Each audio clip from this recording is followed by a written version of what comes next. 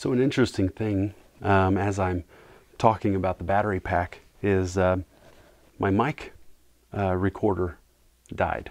So the batteries in it were in, weren't any good. It was about half, and so um, the batteries kind of drained pretty quick because they were kind of old.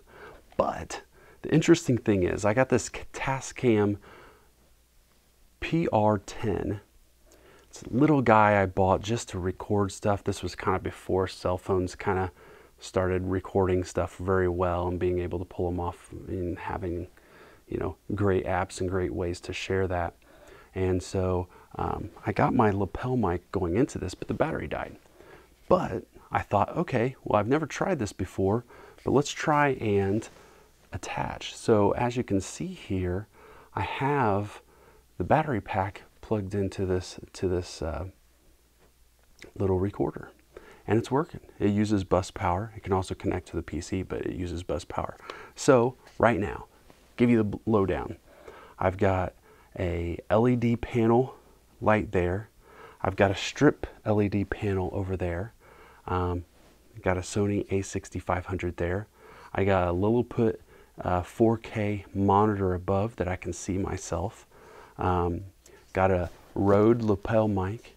I have a Tascam DR10 uh, recording the audio. I'm going to pair that up with the audio off of the camera. And then I have this, and I, I mean, this is um, RAVPower. I, so this is just a little battery pack cheapo that I got off of Amazon. And uh, all of this coming together. So um, I'm going to have fun. Now, as you might see, now I'm a tall guy. I'm about 6'4". And so uh, most um, tripods can't see me.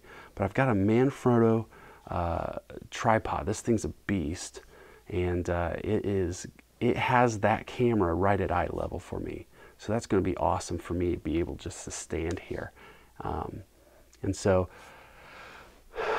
let's we're going to see this studio kind of come together. It's going to be my office as well.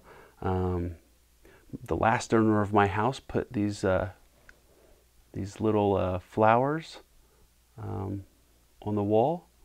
Um, I don't think those will stay around, so uh, we'll try and make this look nice. Got the drop ceiling, so that's going to be cool, right? So uh, I look forward to it. Thanks for joining.